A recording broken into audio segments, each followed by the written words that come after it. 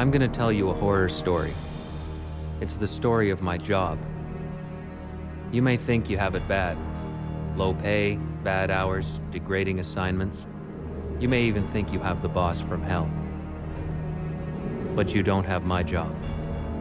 Because I really do have the boss from hell.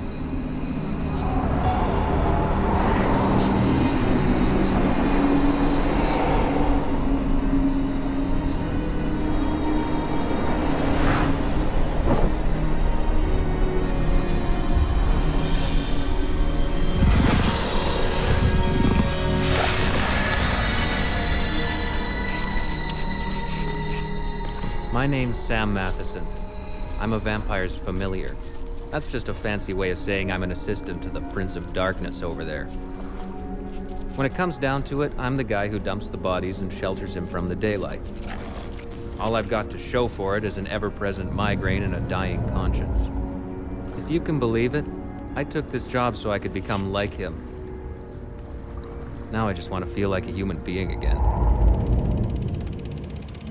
Before I became his assistant, even before I knew they existed, I loved vampires and their whole dark shtick. As a kid, I watched Christopher Lee films and molded fake fangs. Of course, I knew they were bad, but all I saw was their power and mystery. I wanted to be part of that world. And lucky me, it came knocking. Do you like these sorts of movies? Vampire movies? It's all I live for.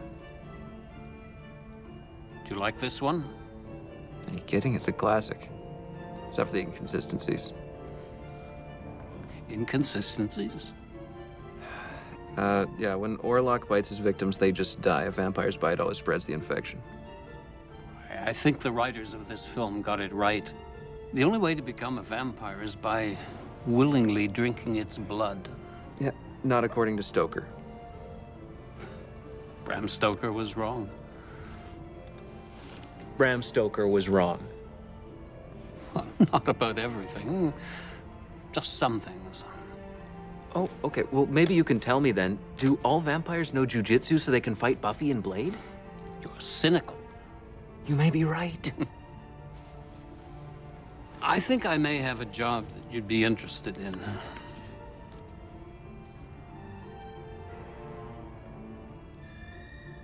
familiar? What's a familiar? I'm sure you'd find my employer very interesting. Now, I usually don't entertain old men's offers in a darkened theater, but there was something else to it. Like being found by a long lost brother with open arms. Do you know what the word evisceration means, boy? I'm getting too old, Bolivar. My time has passed. The, the boy is young.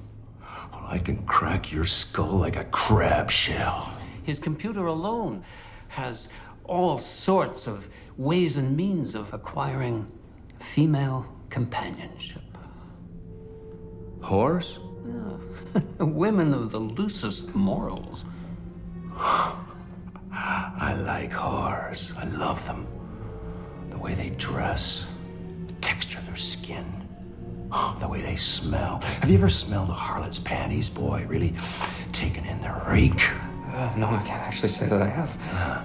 Well, I have walked this world for 415 years, and I will always be mystified by the sheer raw. Bolivar!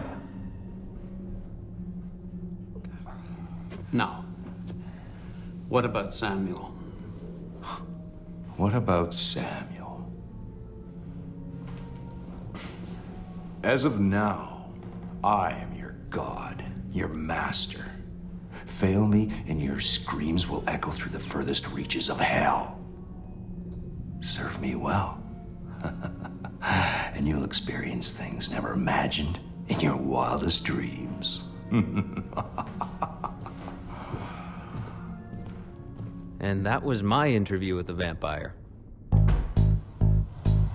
Serving a blood-sucking fiend isn't as hard as you'd think. Once you accept your boss is undead, it's relatively straightforward. He depends on you to do the things he can't even grasp, which turns out to be quite a lot.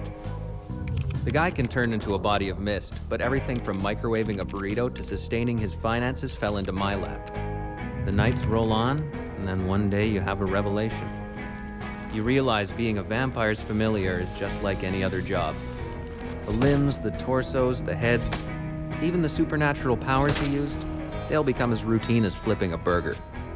You experience anything enough times, it becomes monotonous and then mundane. Six months in, I discovered the awful truth about vampires. Look into my eyes, wench. Do you feel my unbridled power? Oh, God, yes. Women were never seduced by a supernatural charm or an attraction to the dark side.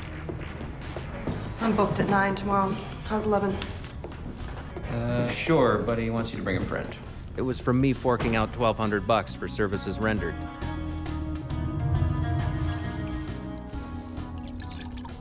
And I know what this looks like. But he was a corpse. Trust me, you forget to do this charming task and the place starts smelling like a KFC dumpster. And you ever wonder why they look so dapper when they can't cast a reflection? Take a wild guess who gets to dress and groom them. You gotta make it perfect. Not too much gel. Do I look like the Duchovny? If I don't look like the Duchovny, I'm not leaving here. I swear, you put too much gel and I'll rip your fucking heart out. Despite his arrogance and vanity, he held no real confidence or self worth. He was kind of pitiful, and not in the Anne Rice sense of the word. The man was unbalanced. I wanted to meet Dracula, and I ended up serving Danny Bonaduce with fangs. This is my bed, you moron! Now look, the dirt has to be at least two inches across all the way at all times. Do you understand that? This is unfucking exhibit, okay? Four years in, and this is as good as it got. I can't say it was all a letdown. Sometimes, when he was feeling generous, he'd spill the beans on info no one else could have. Uh, of course there's a devil. What do you think I am, you moron? do you think I got this way being bitten by some uh, radioactive bat? I am evil personified, bad to the bone. You know, I like you, Sam. I don't know why, but uh, I like you.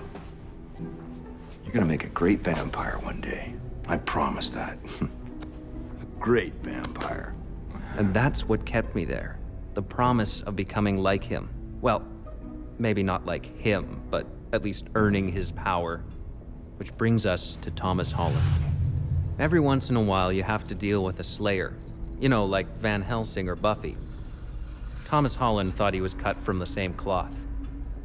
According to his MySpace page, Holland was on a crusade to rid the world of all vampires. Rumor had it that he dusted six of them in seven years. In very bad ways.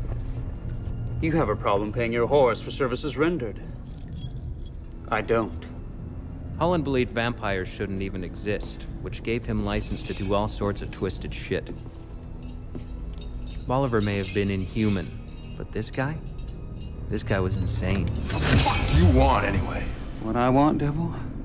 For the righteous to hear your screams.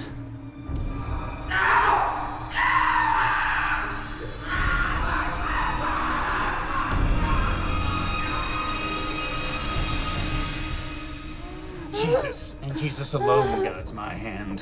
Oh. Simon, the latest issue of Face Squatting Femmes came for you.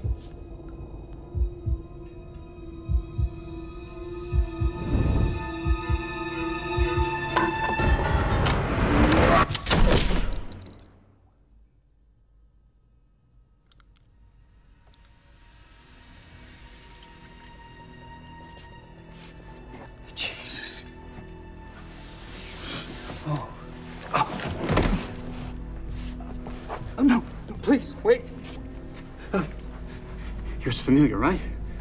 Human? Familiars are vampire wannabes. Go. Go, drink his blood. Become a vampire. After that, I offer my loyalty to you, my undying loyalty. Please. Don't let me die.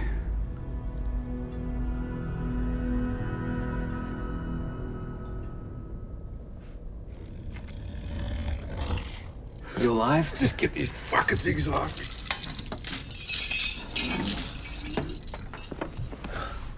Oh, shit. This asshole's dead. You killed him, Sam. What? You just went way above and beyond your duties. He's dead? That's okay, Sam. It's all right. You know what? Hey, hey. You stopped a hunter. You know what this means? Your your name is legend.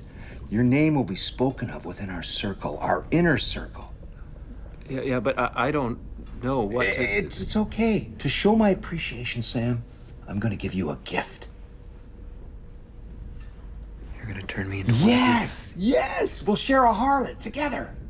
What? No. Oh, Sam, yes. Her nectar will will bind us together as brothers forever. Oh, God. It'll be magnificent.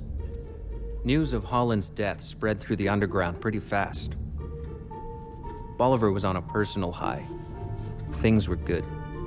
And then we got word Moreland was coming to honor the champion, to congratulate me.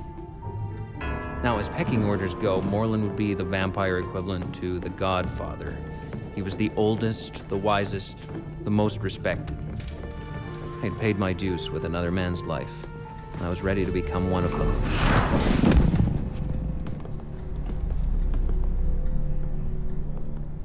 I am here to see the Grey Slayer.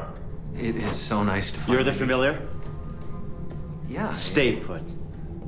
There he is. The man who stopped that crazy maniac. What can I say? I'm just that good. We owe you a debt, Simon. Who knows how many he would have killed if not for you. Well, I believe it's all about instincts, Moreland, and forethought. Please join me, won't you? Good to see you again, my friend.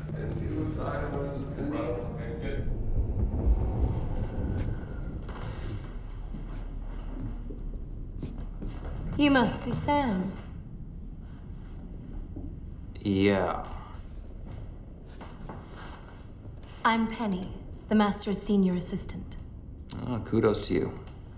You must be so proud of Bolivar's accomplishment. Yeah, fucking ecstatic. How did he take out that Slayer all by himself? Oh, he's a goddamn ninja. Hmm. Interesting. You've been serving your sovereign long? You know, I can't even remember anymore. That's how much fun it is. You? I became an apprentice 15 years ago. 15. Oh, Jesus, you think they'll ever turn you? Turn? Yeah, into a vampire. You ever want to become one? We never become vampires. What? An assistant can never become a vampire. It's one of the rules. Rules? When's there been rules? We have very old, very strict rules. The first being one of us can never become one of them. We're blessed with a lifetime of servitude and a seat in the Horned One's most elegant courtyard.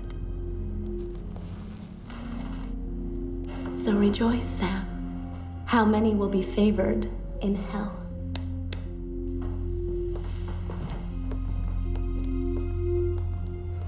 Christ. After that, the nights started blurring into one.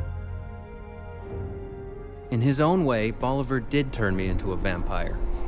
Apathetic, hollow, a murderer. I asked myself why I wanted to be one in the first place. Hey, Sam! Check out the cool pants! I didn't even know anymore. I still envied him. He may have been undead, This is ridiculous. but he got to live.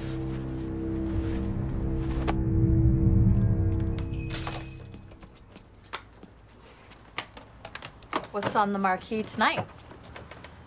Oh, wow, Bergman. Wenders? Truffaut? You must have a bullet waiting for you at home. More like a noose. Interesting choice. I have a better solution than these. The General? It's Buster Keaton. And this is better than Paris, Texas. Can Nastassja Kinski hold a railway tie while riding a cowcatcher? Can I give her the benefit of the doubt? See, now I want to watch it. I'm putting it on.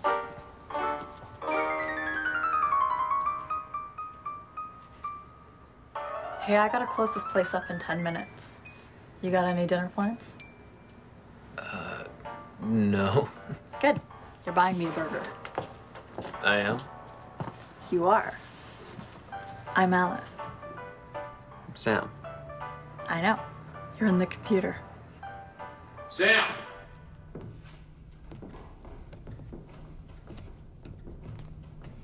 Here, take this from me. We should talk. Not now. I've had too much to drink tonight. I'm resigning.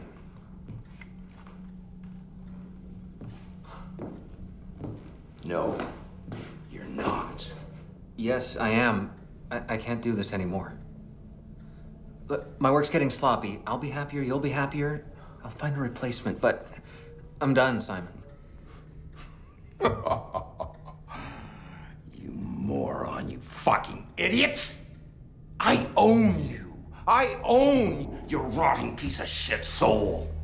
Look, I'm gonna say this slowly so your tiny brain can process it.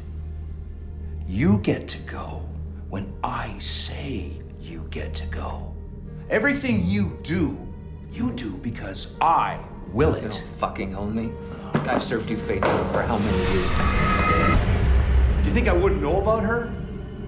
You think I'd let some squalid two-bit bitch get between me and my house slave? She's done. She's dead at my hand. Your little is done. I'll clean that mess up. Be sure my jacket's clean by nightfall.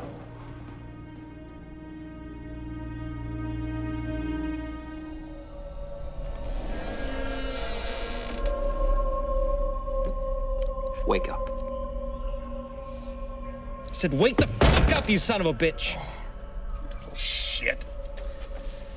You've got a big problem. Oh. Oh, what the fuck is wrong with you? I got two things to say to you. All your assets, your money, your Swiss bank accounts, all the shit that allows you fiscally to survive from century to century, gone, liquidated. Poured into brand new bank accounts owned by. You. Me. The moron. The idiot. The retard who protected you for five years has effectively sucked you dry. You're bankrupt, asshole. Say it, you fucking lowlife. Say it one more time. Say it one more time! I'll fucking kill you!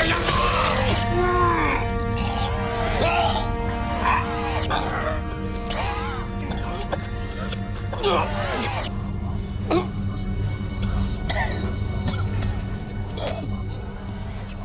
This. This is the second thing that I have to say to you. Happy trails, asshole.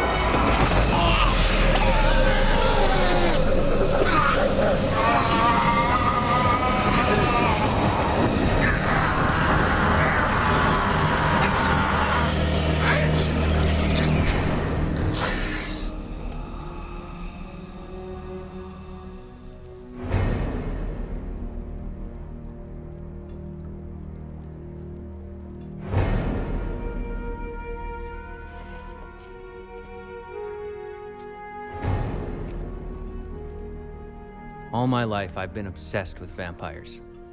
I even wanted to be one. Now? Now I just want to kill the fucking things.